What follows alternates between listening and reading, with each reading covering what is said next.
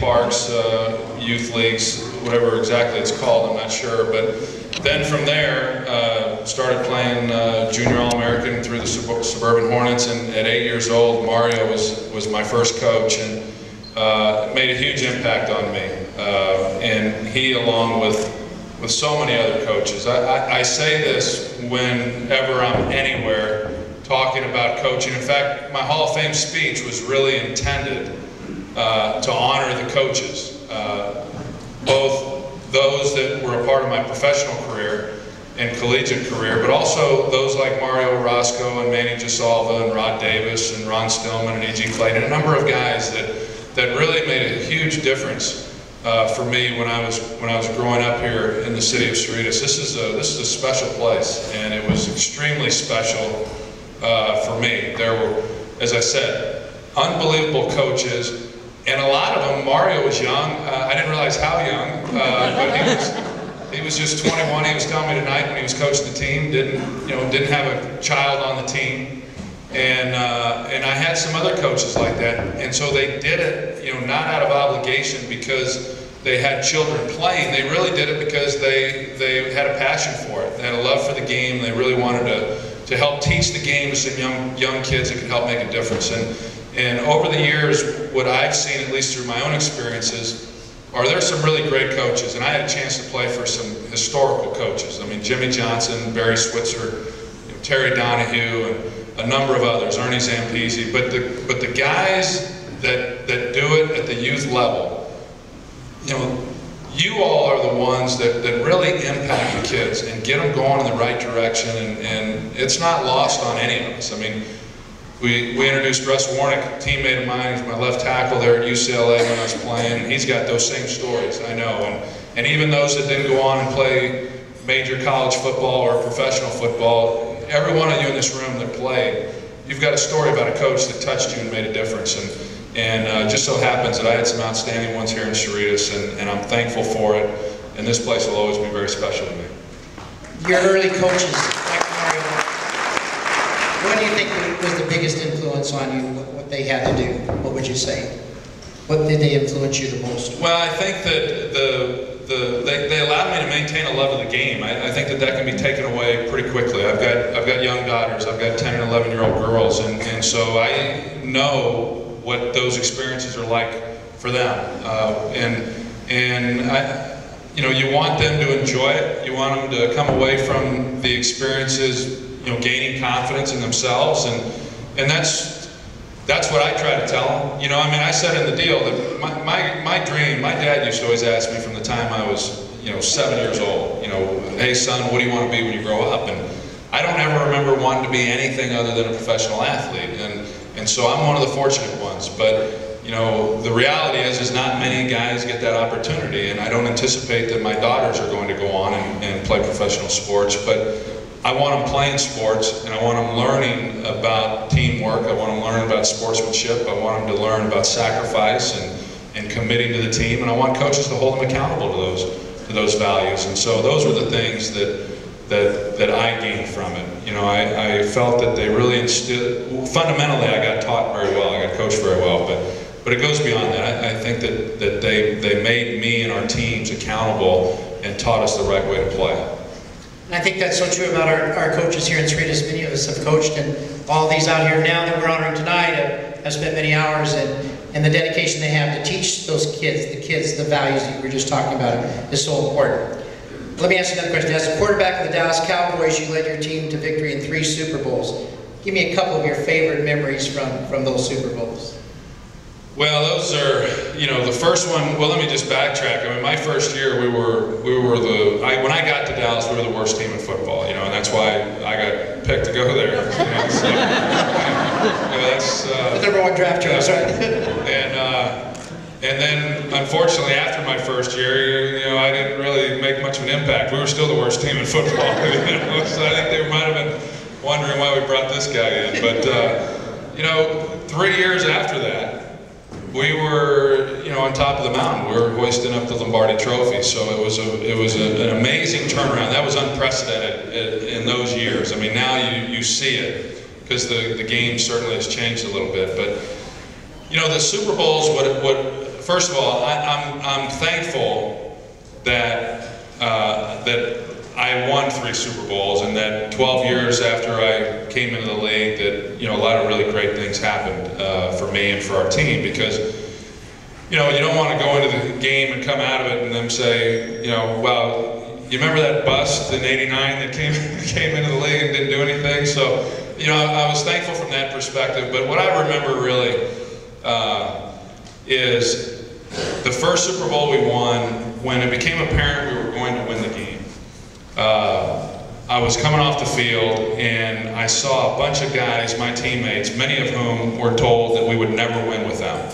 And early on we didn't, you know, and so that was an easy projection. But we did win. We, we, we ended up winning a world championship. And I remember the enthusiasm, the celebration that was taking place, and the smiles, and just a lot of weight being taken off a lot of people's shoulders and saying, you know what, we did do it. We did it with the guys that they said we couldn't do it with. And, uh, and that really, I mean, that may sound corny, but that really is what I remember the most about the Super Bowl, at least the first one that I was a part of. And, you know, anyone who's played athletics, you remember the games, you have laughs about them, you, you know, about the plays, and you tend to remember and have more fun about some of the really bad plays that happened, you know, when you get beyond it all. But uh, what, what, I, what I enjoyed most about my experiences uh, throughout my career were the guys that I forged relationships with guys like Russ, you know, I mean, hey, he could be doing a lot of other things tonight, you know, but he's here and enjoying this, and uh, and I got great friends through it, through athletics, you know, and there's always a common bond. Uh, people who serve in the services, you know, and you know, there, there's something that hey, you always know that person's going to be there, and and so I've got a lot of those friends over the years, and you can't replace those. Hard to. Uh, what about your experience as an athlete? How'd that help you now in your broadcasting career? Well, I think the uh, first of all, it got me my broadcasting career.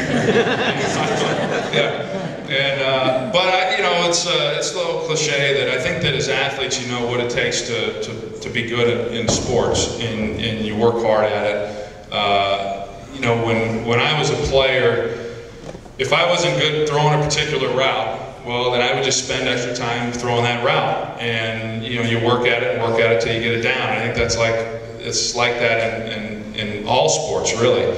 Whereas in business, certainly in broadcasting, you don't, it doesn't quite happen like that, you know, and so in broadcasting, you can't, you can't practice. Uh, your practices are in front of a live audience, you know, and so it comes a little bit slower. And in, in, business, I, you know, I've owned some car dealerships. I've been involved with some different businesses that uh, it's it's it's not as easy to just say, okay, you go out and you work hard, and these things happen um, because you don't have the results that occur as readily. But the principles are still the same. I, I, I think that, you know, I don't think there's any shortcuts. I try to teach my girls that. I don't think there's shortcuts in life. There's certainly not shortcuts in success. And you have to put in the time. And, and uh, those that do, uh, I believe, because of my own experiences, that uh, that they'll have success. You know, now then that gets into a whole other topic as to how you define that. But uh, that, that's my that's essentially my belief. I think probably for many of us in the room, I know for me, when we listen to a pro game, it's nice to listen to someone who's been there and done that. Because oh, yeah. you know they know what they're talking about. A lot of times we have broadcasters that it's never been there and done that, and they don't have that true experience that you had out on the field. Well, believe me, I've got my critics that know I had been there and done that, and, I, and they still don't think I should be talking about it. I don't know, with three Emmy nominations, uh, with three Emmy nominations, somebody believes yeah, in you. somebody. Mentioned earlier about his foundation. Um, you have generously given back to society through the Troy Aikman Foundation. What are some of the projects your foundation has supported? Tell us a little about the foundation. Yeah, you know, in, uh, in 1992, I started the foundation and, and wanted to, you know, give back to the community and, and predominantly make it about kids. And, and so we did that. And our objective when we started was uh, we were going to try to take care of kids that kind of fall through the cracks. I mean, there's a lot of organizations out there and but we weren't really meeting those needs, and I didn't feel like we were hearing from the right people. And so uh, we got together as a board and discussed it. And what we then began doing was we, we started putting in interactive playrooms within children's hospitals, and it's a, it was a chance for for kids, unfortunately, many of them in terminal situations, uh, to escape their own reality for you know a period of time and go into these playrooms and, and be kids, you know, and, uh, and so that's what we did. And that was the whole premise behind it. I wanted something that we could tangibly see that the money was helping. And, but something really strange from that came out of it. And that is that the kids that were utilizing these, we call them end zones, now they're called zones, but the kids that were in, that were utilizing these playrooms, they were requiring uh, less pain medicine, uh, their recovery was coming along much quicker for those that were, were not dealing with uh, you know some of the terminal terminal illnesses, and and this kind of goes. I think you do things for the right reasons, and you try to make good decisions, and then things just kind of tend to take care of themselves. And what happened was Garth Brooks. who some of the younger people in this audience, you know, I, I hate to say it, may not even know who he is, but um, he went through uh, he went through one of our zones in Oklahoma City, and as soon as he walked in, he got it. And so we then began this partnership. He and I did to where we've been able to go in, uh, and we've put zones now. We're in New York City, we're in Denver, Atlanta, uh, Los Angeles. Uh, we've got one that we're uh, working on in Israel. Uh, we've, we've, we've got them in Oklahoma, Texas, so we're, we're, we're all over the place. And uh, my foundation recently just merged with Garth's. We just decided to do everything, do everything in house. But uh, he's about as solid and as special a guy as, as there is. I mean, he's a remarkable individual. Uh, I laugh because he he he hasn't sang in 10 years. You know, I mean, he gave up his career for his kids, and, and his youngest is a sophomore in high school, and she's going to be going off to college. And when she does, uh, he's making his comeback, and I'm really anxious because I fully believe in Garth Brooks. But there's, uh, there's, there's, my girls have no idea who Garth Brooks is. You know So, you know, they know who Taylor Swift is, and they know who Justin Bieber is. So, Garth's got, he's got some competition out there. You know, we'll see, we'll see how he does, but I wouldn't bet against him. Well, it's a great foundation, and uh, appreciate what you do with that. And to know, I didn't know it was all over the United States that you have placed that hospital. It's awesome. Um, tonight we've got a room full of coaches. People have given their time to volunteer. Uh, why do you feel it's important to give back to the community and to serve as a volunteer? Well, I admire those that do. You know, I, I think it's important to, I think it's important to do what you can, and you know where that then falls on you know each individual's scale of importance is is, a, is an entirely different matter. But uh, I've always I've always held people in very very high regard.